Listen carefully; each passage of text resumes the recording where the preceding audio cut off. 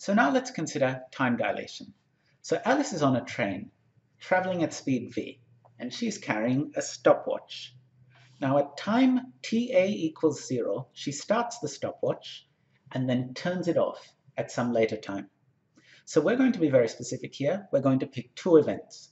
The first being when Alice turns on her watch in her frame, and the second when she turns off the watch in her frame.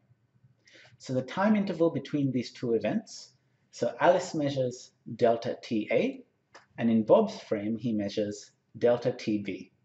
So here are the Lorentz transformations. What is delta XA? The space Alice measures between these two events. And then using this and the Lorentz transformation, how do delta TA and delta TB relate?